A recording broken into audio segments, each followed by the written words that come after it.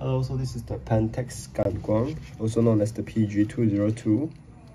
So I'm just going to teach you how to use this camera real quick. Uh. The battery user is a AA battery, so which you can get from any of the convenience stores. Uh. Alright, this one you can change the date back battery later on right here. So you need a screwdriver to open this and then just you know change the battery for this date back to work, right? And then yeah, let's the finishing and the style is actually quite okay I would say. It's a focus focus free lens okay you can see that the shutter opens. So first thing first you have to when you buy a film camera you have to make sure that the shutter opens now when you um, check the camera. Because sometimes if the shutter doesn't open then you GG already. Okay insert your film right here. Okay you should hear that there's a different kind of warning sound when the film is loaded properly uh, hopefully we can hear it out okay? You can see that the film counter it goes up as well as it should when you are in a low light situation because I've covered my hand in front of the camera to mimic low light situation you can see that the viewfinder there's a red light over here. It lights up lah. so when it lights up means you have to open the flash.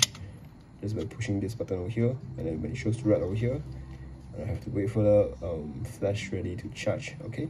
So when it charged already that's it.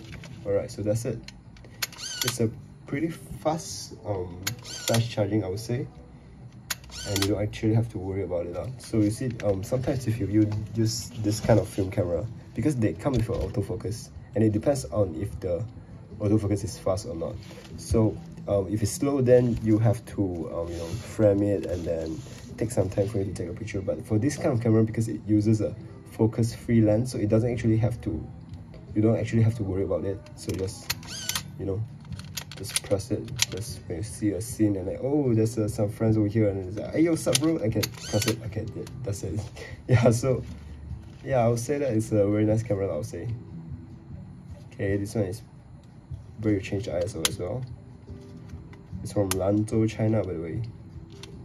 So yeah after you just finish all the films um, you should go ahead and rewind the film camera and just push this button right here I realize you have to keep holding it while rewinding. Okay, so after it's done already, you can, when you push this button, there's no sign. Ah. Afterwards, just take your film out. Alright, I will have to change the battery for this date back as well. So yeah, basically that's it. And make sure that you turn it off the flash after you just finish. Alright, thank you.